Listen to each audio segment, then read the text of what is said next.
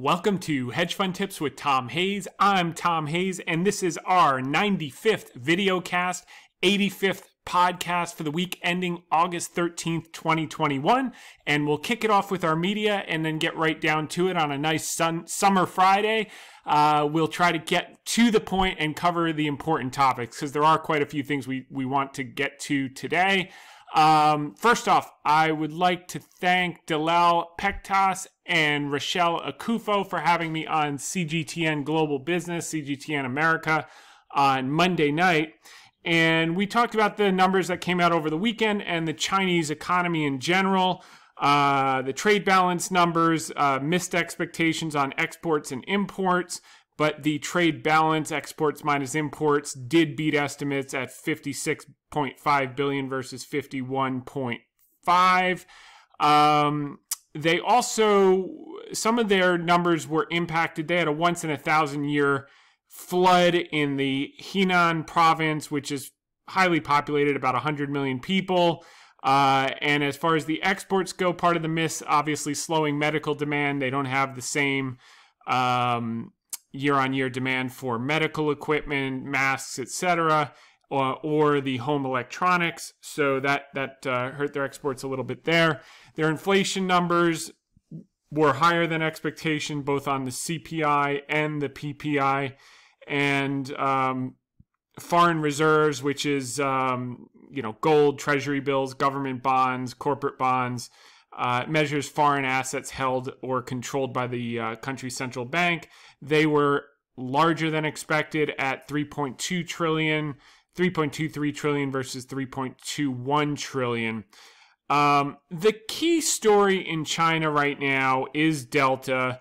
Uh, on Sunday, they had 125 new confirmed infe- infections, up from 96, and they have a zero COVID strategy. So, unlike the West, where you kind of put your mask on, you be careful, um, you get vaccinated, and you go about your business, uh, if they get like one case, they shut down a whole city. And that's really weighing on small businesses and consumer sentiment. Um, and, and that's why, relative to the Western world, their consumer has not recovered to the same extent uh, for two reasons. First off, their stimulus was focused on infrastructure and construction over direct payments like we saw in the US. That's going to serve them well in the long term because they're going to get a return on that investment. Uh, but two, these sporadic uh, shutdowns when new COVID cases pop up, they really create a lot of fear and uncertainty for the employees and small businesses because they don't know if they're going to have a job next week or if their factory is going to be open. Uh, and uh, and these actions incentivize saving versus spending, despite the fact that they have a large percent now uh, of their population vaccinated. They don't have the mRNA vaccine vaccines. They have uh, Sinovac, which is about as uh, helpful as the flu vaccine. It's kind of a coin flip uh, in terms of its efficacy. So. Um, uh, that that's something that they're going to have to work through on the air travel. They had their biggest drop since the start of COVID. Uh, 32% less seats were offered uh, week on week. Uh, and many places have, have, gradually locked down and mass testing has been administered. administered. Uh, they've also canceled some large scale exhibitions in August and uh, travel restrictions and flight cancellations and warnings about taxi and other type of transportation. So as a result of this, uh, we're seeing that. Um, uh, well, first off, their GDP missed for Q2. It was 7.9% versus 8.1% expected.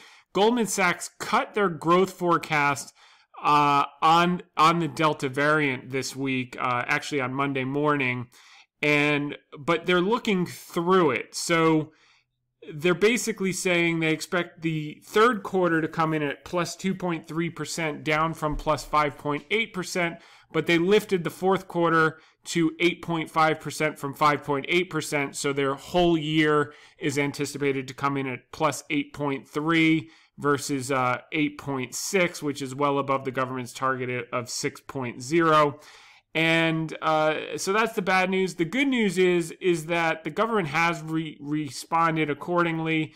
Uh, a number of weeks ago, they reduced the reserve requirement for banks. This actually freed up $154 billion uh, to be lent to small businesses. And they intimated this week that uh, more stimulus is on the way. They're going to invest more, and do more infrastructure spending. The Politburo made that assertion. Uh, and I think that with their zero COVID strategy uh, and what we've seen in the UK and in India, where the spikes lasted 45 to 50 days, uh, I do think they're going to get it under control probably quicker than expected. And um, uh, some of these estimates are a little bit conservative. So, uh, but that said, uh, what did well during these type of shutdowns were the online tech companies, as we saw both here and in China last year. So. Um, that that's something to keep keep in mind. So so that was base the basis of the segment with Rachelle. Thanks again for having me on. Um, Want to thank Ellie Terrett and Charlie Gasparino for including me in their article on the regulation of Bitcoin. Um, all these different agencies are fighting for control over it from the CFPB to the CFTC and uh, to the SEC. And my basic uh, point was that they may have to wind up creating a new category for it over time. Right now, it doesn't fit any any category perfectly, but I think the CFTC has the mo- most cogent argument at present because it's not a currency. Because if you have to sell it if, if you buy some, if you sell it to buy something, you have to pay taxes, which you don't have to with the currency. So uh, it doesn't qualify under there. As far as the security, if they do have an ETF, that would give the SEC more uh, authority over it, but they haven't done that yet. So really, you know, store of value, commodities a store of value. If if you're of that camp, I mean, I guess the real question would be, how did they classify tulips in the 17th century? Uh, would be a better way to look at it. But um, nonetheless, we're, we are where we are. So thanks for including me in that. Uh, then we got the segments up from last week. I was on the CBC radio with uh, Megan Reid. Uh, so you can check that out. Those were regarding Robinhood. There were two small segments there. Want to thank Devik Jain and Ambar Warrick for having me in Reuters twice this week. Uh, the first one was on Monday, where I said the overriding trepidation is still coming from the Delta variant, and the market is just being a little cautious here despite the strong jobs report. That was on Monday morning. The Fed is uh, probably looking forward to Jackson Hole to whether or not uh, the Fed is going to change their tune and possibly talk about taper earlier than later. Uh, I don't think that's going to happen. And then uh, yesterday, you know, the market was basically doing nothing again. Uh, this is summer doldrums at its finest and there's not a whole lot to do unless there's a major headline. We're kind of seeing the market just muddle along here. Uh, so that was the sentiment yesterday. And in the context of inflation, which we're going to talk a little bit about this week, I pulled up this Buffett quote, which I, I thought was really useful. And what he said was it makes no difference to a widow with her savings in a 5% passbook account whether she pays 100% income tax on her interest income during a period of zero inflation or pays no income tax during the years of 5% inflation. Either way, she is taxed in a manner that leaves her no real income whatsoever.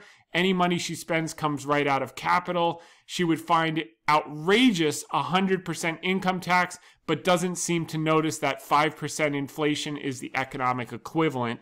And these are some questions that we're going to grapple with on a go forward basis. I don't think we're headed to uh, 5% inflation, although we did get year on year CPI numbers over 5%. But uh, whether that will persist or not, we're going to kind of uh, go into a little bit on this call. The other quote that came to mind, uh, given you know um, uh, some different things that we're going to discuss. Charlie Munger says it's waiting that helps you as an investor, and a lot of people just can't stand to wait. And uh, you know, we we went through that with uh, Wells Fargo last year, which is now over fifty, by the way, uh, and um, and we're going through it with uh, Alibaba, and we're going to go through some some good stuff on Alibaba this week. I'm excited to share with you. Um, and we went through it with Pfizer, by the way, which has just started to rocket the, uh, in the last few weeks, which will which will cover that. The other quote that really stood stood out for me this week was uh, another Buffett quote. Most people get interested in stocks whenever everyone else is. The time to get interested is when no one else is. You can't buy what is popular and do well. That's the most important thing. You can't buy what is popular and do well. And right now, there are a lot of things that are popular, but there are a number of things that aren't. And those are what we've historically focused on. And that's how we've done our knitting. And it's paid, paid well for us. So we're going to focus in on that. Um, Want to take a couple questions of the week. Uh, Mark Messer from Florida said, Hey, Tom, just be done with it and move to Florida. I guess he's referring to the. Uh, uh, Tampa pictures from last week. We're back up in Connecticut this week. Uh, we'd love to have you here. Um, what do you say? Follow up on a question from last week regarding Cigna options. You mentioned the time frame, uh, but what strike price do you choose for a long call? In the money, at the money, or out of the money? On those, we did deep in the money and we added to those this week. So, um, so timely question. We love the Cigna story. I think it can go back and retest those lows, so you may get another bite at the apple next week. But I think by the end of the uh, the year, that that uh, that stock's going to work its way up back up to new highs.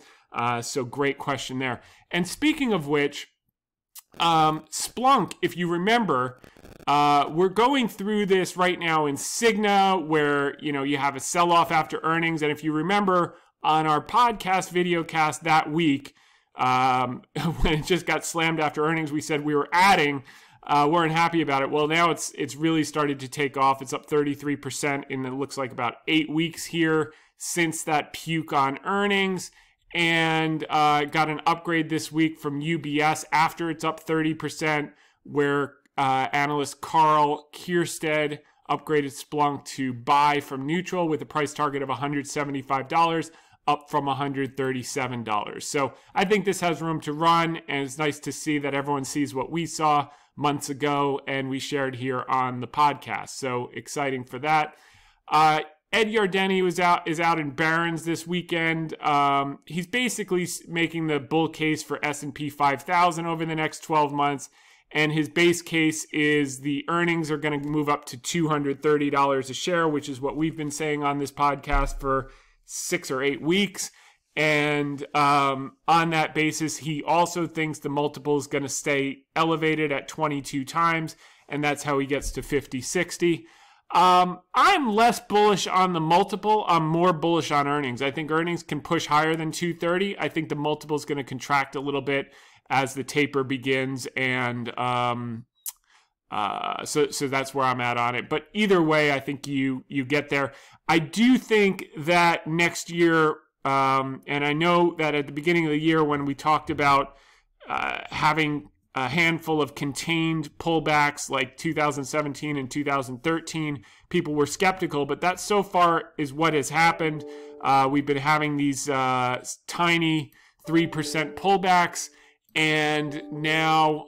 Um, now we are um, moving through. I do think that's going to change next year. I think we'll finally get like in 2010 and 2011 early in the new business cycle, we'll get a nice 10 to 20% correction.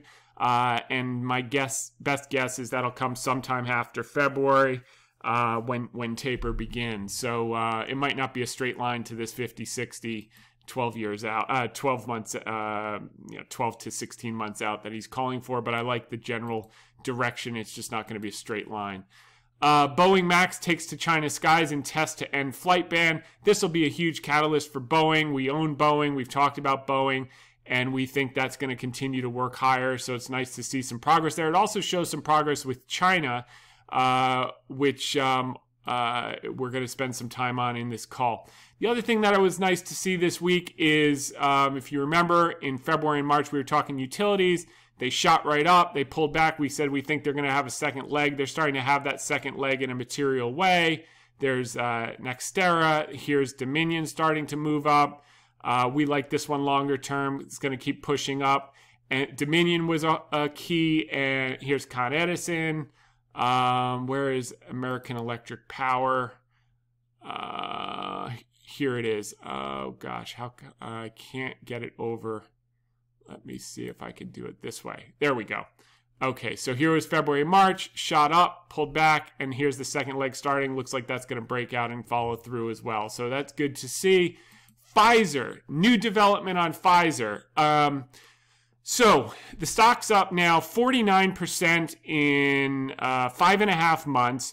We took profits this week, and uh, we did that not because we don't think it's going to push higher to $50 or beyond over time, um, but because we think there are better uses of the capital now. And I think two things are going to happen. We are on day 40, about 44 or 45 uh, of this Delta spike. And if you recall, I said that uh, both India and the UK peaked around uh, day 45 and day 50. And if we get a peak in cases in the next week to two weeks, I do think that Pfizer is going to roll over in the short term. Now, we may use that to buy Pfizer stock in the long term, but in the meantime, we wanted to take profits because we had a lot of option exposure and they're up multiples. And uh, this has just been a monster move, you know, 49% in a handful of weeks since the end of February, uh, early March when we put it out. So uh, we love this story, uh, but it was time to ring the register, and uh, we hope to get the chance to reload, but it'll have to be from lower levels. If this pushes into the 50s without us, no regrets. It was a great trade and um, very unpopular one when we put it out. And many people were really struggling with themselves waiting through this. Uh, but that's why I remind you guys it's the waiting and gals that helps you as an investor, and a lot of people just can't stand to wait. Also, by the way, I want to acknowledge Kristin Myers of Yahoo Finance. I saw today is her last day at Yahoo Finance. I always enjoyed going on uh, Yahoo with her, and I was lucky enough to be on with her last week. We covered it on the video cast last week. So, wishing her a great new chapter wherever she's headed, um, and just thought I'd uh, put that out there. Uh, next, big move in the 10 year yield this week. It seems to have cooled a little bit. We'll continue to watch this. Obviously, the, the push higher in banks was attributable to this. Um, and let's see, because it's kind of interesting to see utilities getting a bid and banks getting a bid in the same week. Um, so, so let's just continue to watch this. The yield curve is still steep. Goldman put this out this week. Goldman estimates that 77% of the US population has COVID immunity. That's another reason why, um, you know, there was just, I saw this enormous block of um, Pfizer calls that came in at when after it went parabolic uh, on Tuesday, and that's when I decided to, to ring the register. It just got a little too giddy, a little too late. Like you're kind of at peak hysteria about Delta and you're kind of at peak euphoria about the vaccine companies. And with Moderna, you know, rolling over some 30% or so, um, I just think that everyone knows boosters are in the picture. Uh, now we got to focus on Pfizer's real business, which is up 10% year on year. The pipeline's so so. Uh, so again, it it'd have to drop lower, and I think it may for me to reload for the long term, which I may be inclined to do. But there was a better use of that money, and uh, you may or may not be surprised where it went, but uh, we'll we'll we'll get to that. Um, here's the article of the week, which is the deja vu stock market and sentiment results. This is two quotes from Yogi Berra. It feels like deja vu all over again to describe one aspect of the current market climate. This is in contrast to what many talking heads are saying about China in recent days, uh, which is the future ain't what it used to be. So this is the push pull. Is it deja vu all over again in China, or is it the future ain't what it used to be? Uh, and I drew this out because not many people are talking about it, but the same thing happened in, two, in October of 2018, actually March through October 2018 China cracked down on its online gaming providers by stopping approval of any new games. It basically shut it down like it, it's shutting down um, education providers. And in a similar fashion uh, to uh, it, it, it, what's happening with the online education providers, all of Chinese stocks were punished in response to the arbitrary crackdown and regulation in 2018 and it's the same thing here in 2020. So I put a bunch of articles up in this uh, note of the week Um, one was from The Economist. You can see the date here, November 10th, 2018. China's gaming crackdown should worry the entire industry. And gaming firms' uh, skill at extracting money from players risks a regulatory backlash. Now, uh, two things that were interesting because they've said the same thing about uh, the education providers.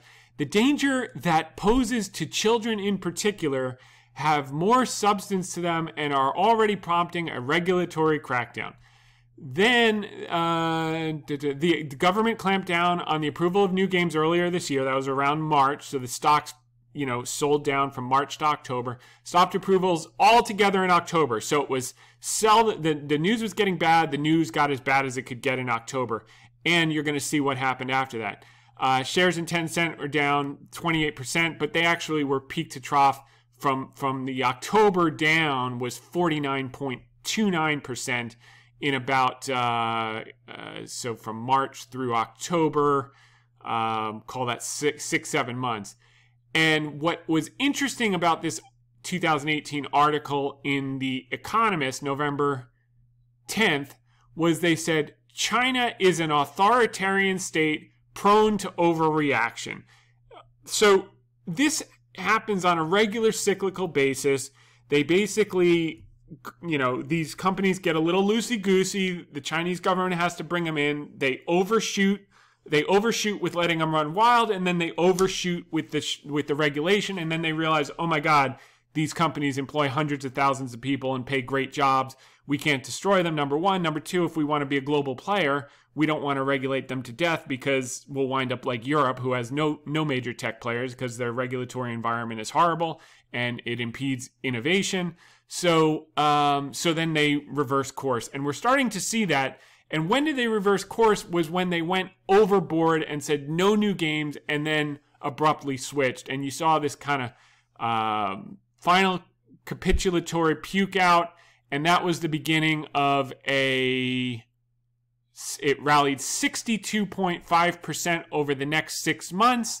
And then over the next two years, it rallied 216% after the assertion that they would never approve another game as long as they lived. And sure enough, after this capitulation, everyone blinked and flipped because it was in their interest, not because they're weak or anything, because they want to be strong and they realize, wait, we're killing ourselves. And sure enough, people do what, what's in their interest. The same, we're at the same space here. They peaked in uh, March, and uh, and now they're down 40, about 45 percent. We may have had that similar capitulatory uh, bottom, and now we're retesting that same thing that we saw in October. So it's something worth keeping an eye on.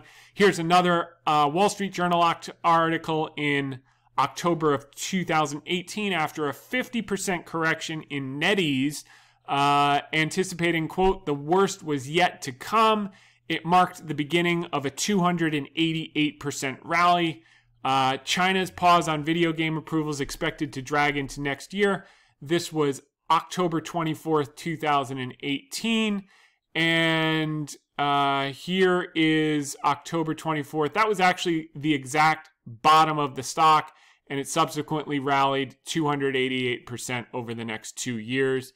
And then this article from also from October 2018 on Business Indus, in, Indicator indicated that there were, quote, few signs that China is willing to expedite the approval process and that some Chinese officials believe the increased popularity of video games has had a negative impact on children. Um, so you can read through that. And then here was a headline that dropped on Reuters. This would not be uh, comfort inspiring for investors at that time. Tencent's profit drops for the first time in nearly 13 years. And you can see what was going on with Tencent stock. If you're owning it or buying it, it's down. Let's uh, when that headline dropped, it was probably down about 45%. It ultimately bottomed at 50% down. And um, you're like, wow, they're you know their profits are down first time in 13 years. Maybe it's the beginning of the end. It was the beginning of the beginning and um, and that's just the way sentiment works and that's why these type of things are so important to keep in mind it's the waiting that helps you as an investor a lot of people just can't stand to wait And um, and that's just you know it's the look. I said it last week. Why doesn't everyone do this? If you buy quality merchandise when it's on sale, why doesn't everyone do that and get rich also? And the answer is is because it's hard to do. Because at the time when it makes sense to buy, it's like at, at the time it makes sense to buy is the exact time when everyone's saying this is not a good time to buy. And the headlines are pounding and everyone all the managers are puking out of it. You, you know there are a number of high profile managers that were puking out in the last week. Uh, you can look them up. And um, and and that's you know and that's when things turn. At the peak of these these acute stages you just got to hold on. Sometimes it's a few days sometimes it's a few weeks sometimes it's a couple of months. And that's just the you know that's just what it is. But if you want these 288% and 150% uh, type rallies where you build real wealth, you got to go through the pain. Otherwise, everyone would do it and it wouldn't exist, and the markets would be per- perfectly efficient. And um, you know, that, that, that that's that's um, that. Anyway, so this is what we focus on. Um, okay, and also in October 2018. Uh, it looked like the end of the line for big tech in China. Even Alibaba was crushed in sympathy with the regulatory crackdown on video gamers, and capital was fleeing out of an unfriendly regulatory regime. People didn't like the arbitrary regulation and crackdowns that came out of the blue and knocked 50% off their biggest, best stocks. Uh, and money just fled because they didn't want to hold it on its books and they didn't have the type of investment partners that understood and could take a longer term view to get the to get the huge benefits and and deal with the short term volatility um, uh, to get this. So so the blue vertical line marks the October November 2018 period here. Um, so you had this capitulation, then you had a back a retest, and then um, so Baba cr- crashed 40% in four months. It went on to rally 150% over the next two years and you got a monster short term rally from uh, 130 to 195. So give or take 50 plus percent in you know a matter of months after you got that capitulatory bottom and retest. Um, and I, I think you know we could wind up seeing something similar in this type of situation. I don't think we make new highs in in the next handful of months, but I do think we could get a wicked uh, rebound rally uh, relatively quickly. Now, the other pattern worth noting, so so here's here's the, the story, down 40%, up 50% basically overnight, and then up 150% over the next couple years. Down 45% here. We had that capitulation low at 179. You know, maybe we retest, maybe we don't. Uh, we use the profits from Pfizer to add to uh, BABA again uh, today. And um, so you know, I think it's just uh, an attractive situation whether we get this rip your face off rally uh, immediately or if it takes another couple months, it, it makes no difference. But I, I think sentiment has really gone beyond the point of um, excess. The other thing that I thought was really interesting, I'm going to just switch gears here, is on uh, yesterday. So you saw a little weakness yesterday and today. China unveils the five year plan to strengthen control of the, the economy. This is from the Financial Times. Uh, Communist Party seeks to extend oversight of important sectors in the last in its latest step of regulatory assault. That's the bad news. The good news is what this headline should say is China government finally tells you what they're going to do and the extent of the pain they're going to inflict on the tech industry. And they've given some clear um, directives of what they're going to be focused on. And I, I think what what this is is basically this is the news. So the rumor is all this bad stuff is coming. The news is here's what we're going to do, and here are the regulatory uh, interventions and controls that we're going to have. So I think that drop of their five year plan yesterday was kind of like the capitulatory bottom. I think now what you're just seeing, the more bad news that comes, it's kind of like Boeing stock was, you know, eventually it just, you got so much bad news, the stock just started to go up on bad news because it's like it had already priced in the end of the world. And I think the same thing is true when you're talking about these kind of oligopolies, uh, tech oligopolies in China, which we have in the states with you know our Fang. Uh, they have with their I don't know what their acronym is, but you know Alibaba, Tencent, JD, um, you know Baidu, etc. I think that uh, so much bad news has come out, they, they just kind of stop going down on really bad news. And that's usually when you get the turns and then you get the rip your face off rallies because there's just no more bad news and all the sellers and all the weak hands are out. Um, now, the other thing I noticed, and the only reason I'm doing this um, charting uh, uh, visual stuff for you guys is because we've covered the fundamental uh, case ad infinitum. So now we want to look at possible pivot points.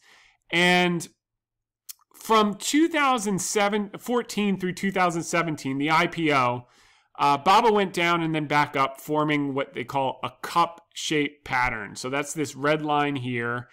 And then uh, it broke out to new highs in mid 2017. So it broke out of this cup and then it rallied up and um, and then it rolled over to back to around where the point where it broke out. So it um, did this cup, it broke out, and then it rolled out back to this support right here. Okay, so kind of like a long extended breakout and back test, and then it ripped higher from 129 to 319 after touching that breakout point. Uh, we have the similar pattern happening right here. Um, it uh, it basically then uh, you know rolled over to this breakout point and then finally broke out again in late 2019 creating another cup right here with this red line rallied all the way up and now it's come back exactly to where this breakout point and you can see it there's all this institutional volume here that has done a good job so far defending these levels this breakout point. and what did you get again, you got this monster 50% rally in like literally two months um, after the bad news in 2018. Now, you can't say this is going to do it all the time and coincidence, but it's worth noting. And these type of patterns tend to repeat. It doesn't mean they will. History doesn't repeat it, it rhymes. But I think the sentiment, the fundamental, um, you know, all this liquidity, there's not a lot of places left to go where you can find value. We bought a few airlines this week, not you know, nothing huge. We bought a little bit of cruise line this week, nothing huge. But we we added to Baba because literally for my money, there's no better place I can go. Understanding the risk, quantifying the risk with with options, um, uh, and just looking at where we are in terms of sentiment. You know, you have this kind of capitulatory shakeout and then a rollover. You had a similar situation here. So we'll see how that plays. Um, but I, I, like that they're defending this this volume pocket here, and I like that they're defending the breakout level. So let's see how it plays out. Um, and then now the, okay, so here's what I said. Now now that we've uh, retested the 2019 breakout point and bounced. We'll see if we can get a new strong rally in coming months, uh, break out to new highs in the next year or so. The fundamentals support $300 of intrinsic value in the short to intermediate term. And if the Chinese government lets the business perform, it's likely to see $400 plus in coming years and become a global tech leader. No question about it. Um, and, you know, I think we've seen this movie before. So here's uh, not 2018 articles, but uh, 2021 articles from August 7th. Chinese state media call video games, quote, spiritual opium. Kids today should play pinball. Yes, pinball. And there are pictures of pinball machines uh, in this Market Watch article. Then the Wall Street Journal. This is from uh, August 8th, so five days ago. China attempts to take the stress out of schooling, sparks its own angst so Beijing's education overall, which aims to e- ease intense competition, turns life upside down for anxious parents. As I covered last week, um, they they chop these um, uh, education providers down to nothing because they think that'll force parents to have to want to have more babies and it does exactly the opposite the last thing a chinese parent's going to do is have another baby with less access to education and they wind up working in a factory they want their kids to go work for alibaba so the government's going to figure out let's see, how can we make Alibaba bigger so they can provide more high paying jobs so that parents get more excited about having babies uh, to fill those jobs? And that's the future that parents want. And they're getting a ton of pushback from these parents who want the tutors because it's not about competing in China. Okay, so you kill off all the tutors in China. It just makes China stupider as a country, you know, less intelligent as a country. Um, but they still have to compete globally. So I, I think this is going to find some some uh, healthy middle ground, just like the online gamers when they were never going to approve another game, and then all of a sudden uh, they changed their tune. Why? Because it's in their interest. So um, our bet is we already know how this movie ends. So it's your choice. Is it deja vu all over again, and this is another 2018, and we're going to see a rip your face off rally? Or is it the future ain't what it used to be, like the majority of the talking heads are saying uh, uh, in the last handful of days and weeks? Uh, we're in the former camp, and we believe that Yogi would be too. Uh, so then we covered the uh, CGTN and the Yahoo last week. Um, Oh, speaking of which, uh, there was another question last week. Ben Be Healthy asked uh, this, but I was already recording when he asked it. He said, "Is XLF's bounce today a head fake?" You know, we we had already answered that question. Uh, we said that the only bank we would put brand new money into at those levels was Citi, which we covered on Yahoo last week. So I hope you heard that Citi was up this week. Um, and then does SMH have more gas in the tank? That's semiconductors. I've already answered that question. I think he asked it two weeks ago. I said I had no view on the semiconductor business at all, other than the fact that we like Intel, and we covered Intel on Friday on Yahoo, and you can review the notes here. Um, we covered the health of the consumer last week. That was related to um, uh, the Yahoo appearance. We covered the sideways market in the uh, Russell and in the Dow correcting sideways. The Dow broke out this week, so that's good to see. And then inflation is something I want to cover a little bit this week. Um, I did a segment for CGTN today. I'll try to get that link out over the weekend. And the basis was, um, you know, what's driving the price hike in everyday items. And I said that, you know, we can't ignore the amount of spending and monetary liquidity that's been injected to the system in just over a year uh, because of COVID. As of March 15th, we are at $5.3 trillion in COVID spend, spending programs, direct payments to individuals. And that excludes the 1.2 trillion of infrastructure package that was just approved by the Senate.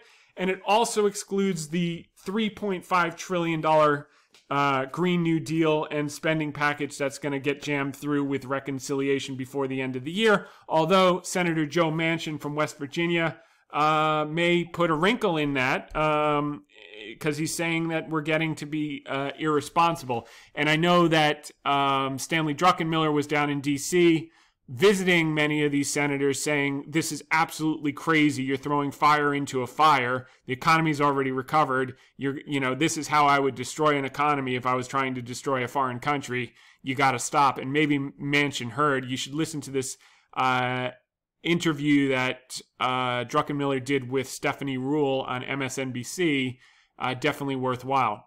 Now um so you've had this 5.3 plus 3.5 is coming plus 1.2 that's 10 then you've added another 4 trillion to the fed balance sheet. You know 14 trillion dollars on a 22 trillion dollar economy after we've recovered it's getting to be out of control. So how have we been able to hold inflation at bay um, and uh, over the last 20 years?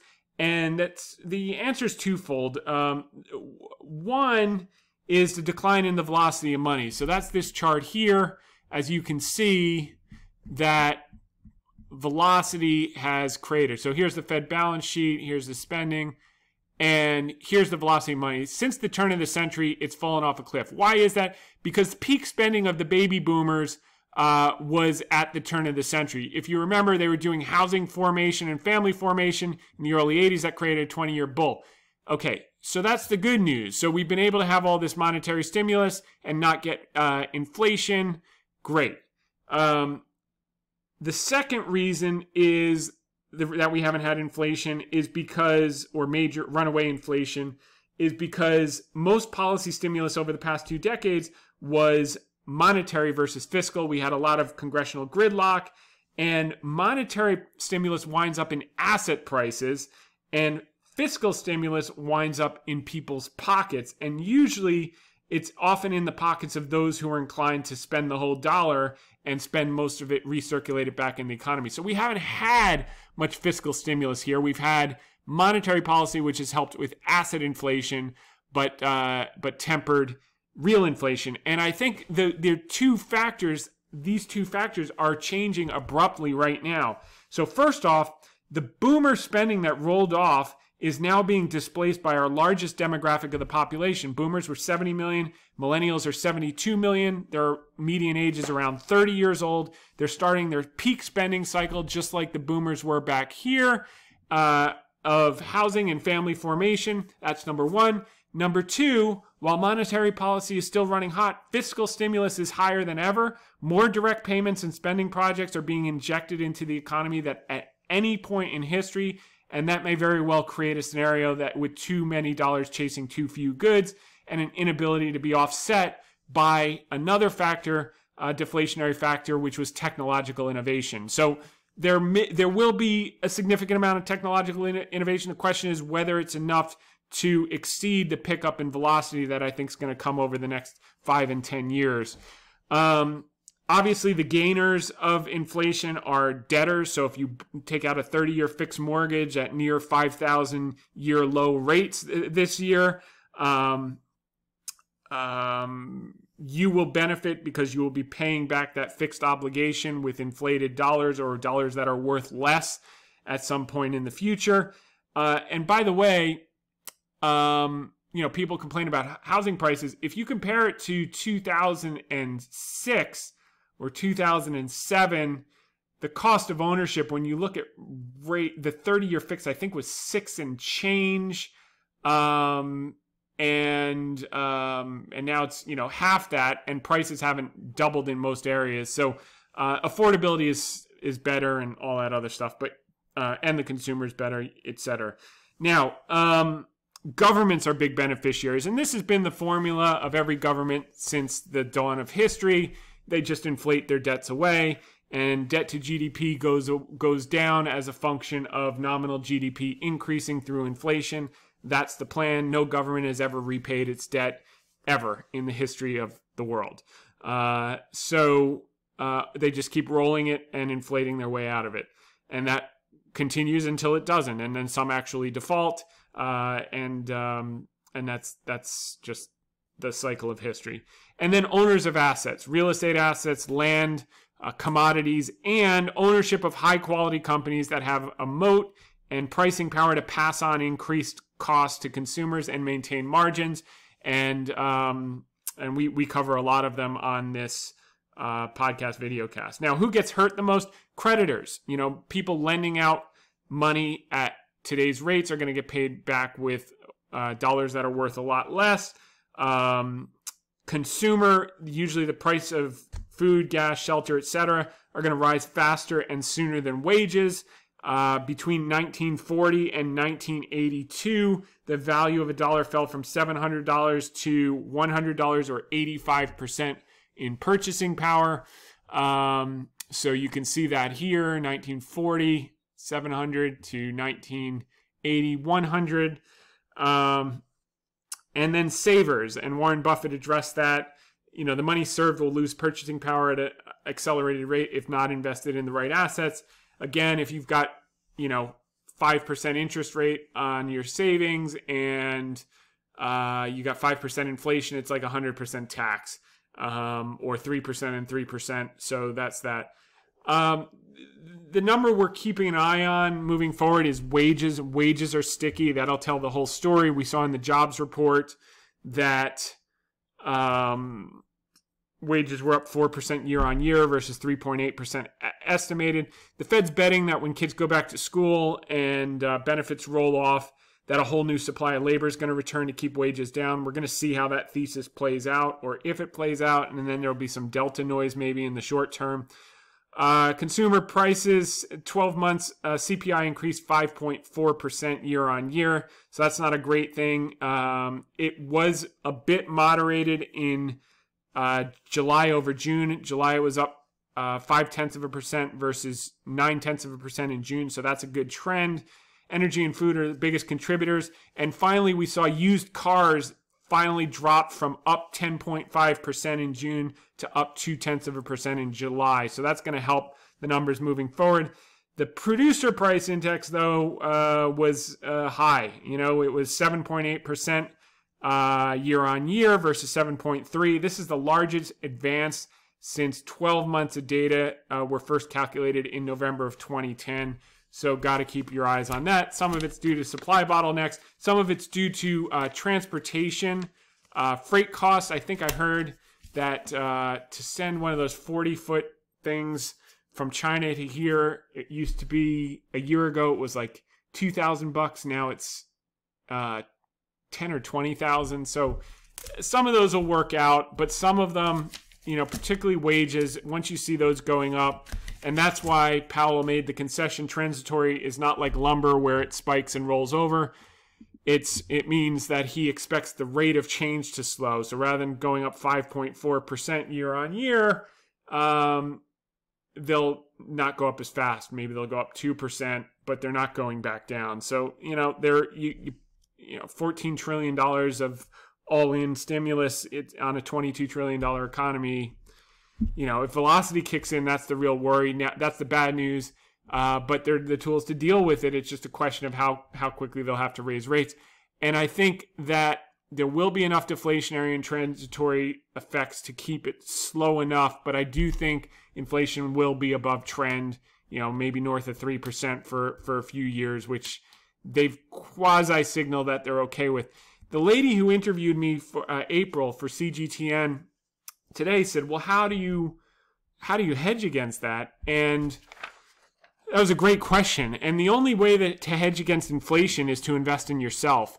So um, whether we wind up trading in seashells or dollars that you know it, it you know a McDonald's lunch costs thirty dollars instead of ten dollars.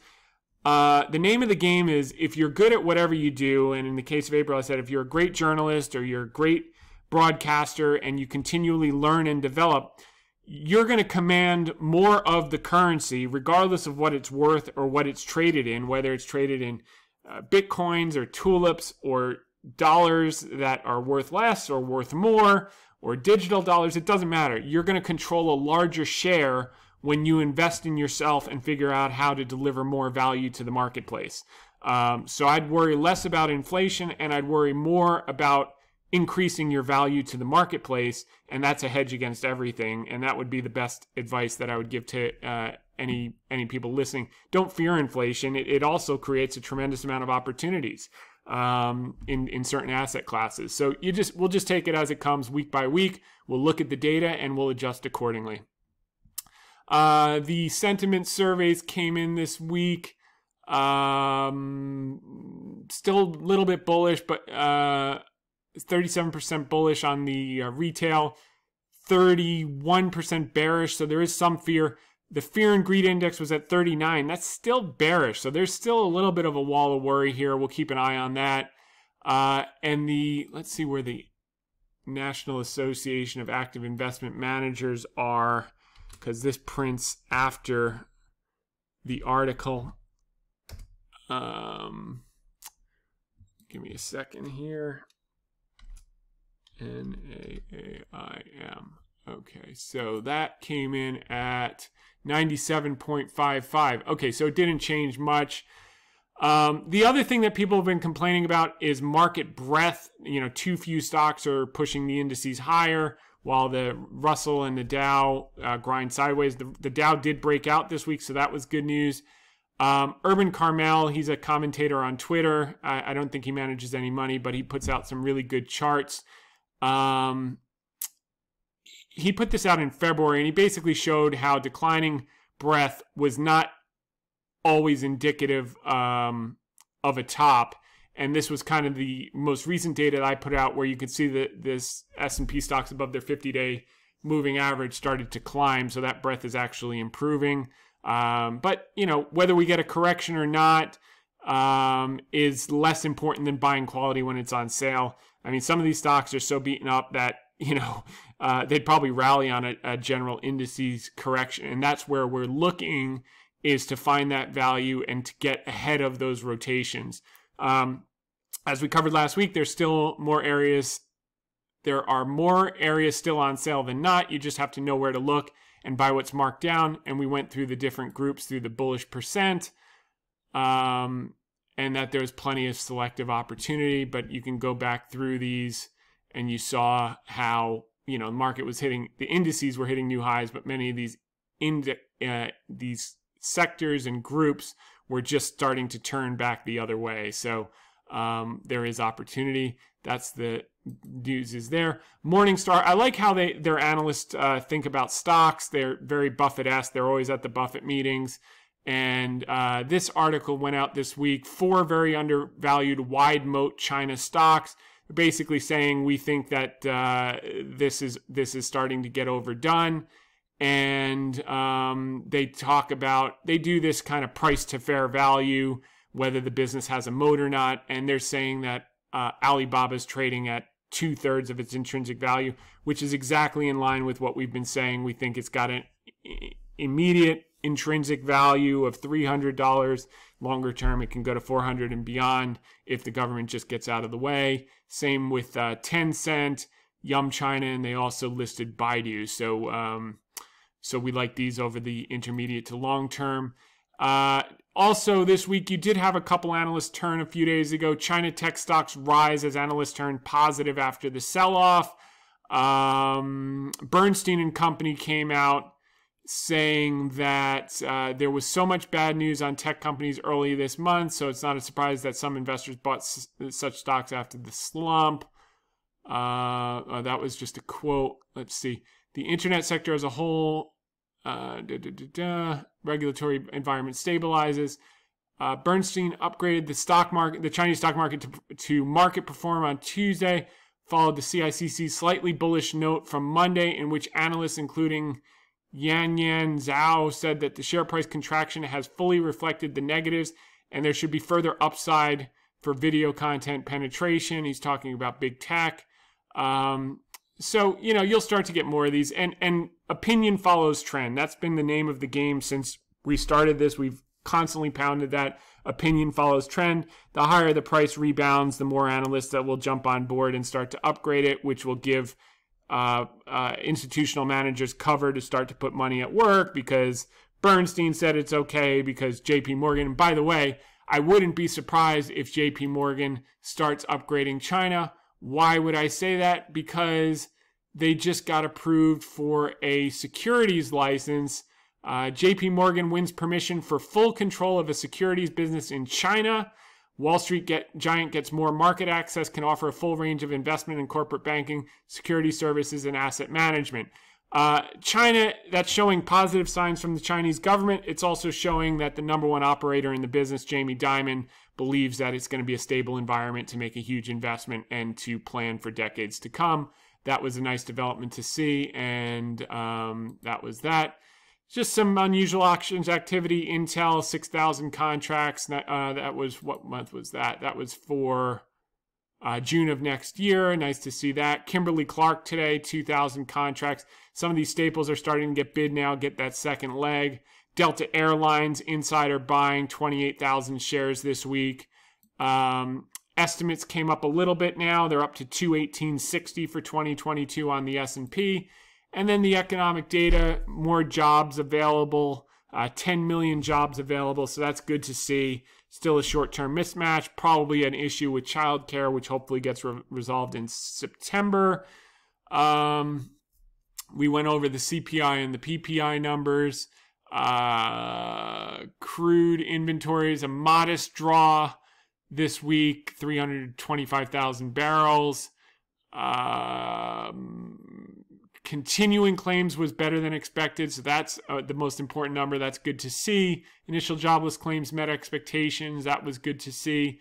Uh, consumer Michigan consumer expectations. God bless you that don't have the TV turned on all day. I gotta say, the media has done an incredible job of covering Delta. I mean, it's like literally every 10 minutes, you know, get your vaccine or you're gonna die. So it's understandable that they've destroyed consumer sentiment in the short term. That will flip just as fast when the cases peak and roll over. Hopefully it's in that, you know, 45, 50, 55 day range like we saw in India and China, uh, in India and the UK. And then this, this sentiment should come right back but uh, worth keeping an eye on in, in, the short term. So, with that said, we're going to wrap up here. Wishing everyone a great weekend. Until next week, make it a great one. Thanks for listening in.